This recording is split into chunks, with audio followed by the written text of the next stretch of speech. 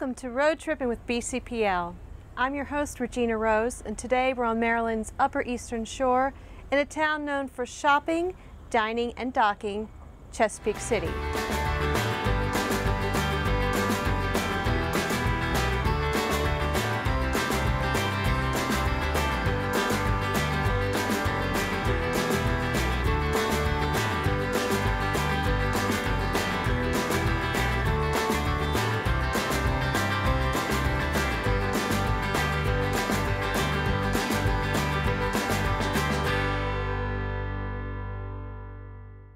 Originally called Bohemia Village, after the completion of the C&D Canal in 1829, Chesapeake City changed its name.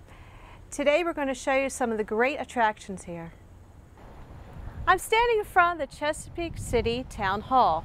Now the Town Hall hasn't always been located here. In fact, it was across the street until 2008. In 2002, the town of Chesapeake City bought and remodeled this building and in 2008 moved its headquarters here. From the completion of the C&D Canal in 1829 into the early 20th century, Chesapeake City enjoyed a prosperous period. However, the government decided to dredge the lock and make it sea level, so there was no need for a lock house here in Chesapeake City, and the economy declined for a time, but Chesapeake City has bounded back.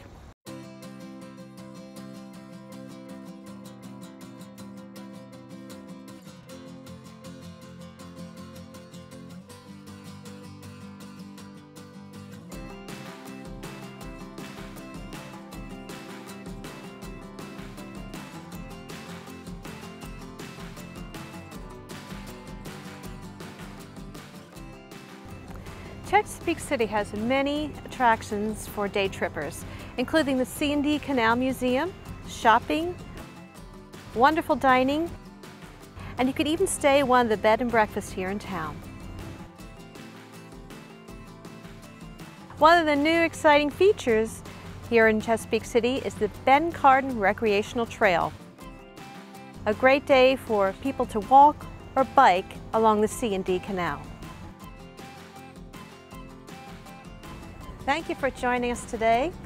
If you want to find out more about Chesapeake City, I recommend some books in BCPL, including Exploring Delmarva, Backroads and Byways of Chesapeake Bay, and Cities and Towns of the Chesapeake.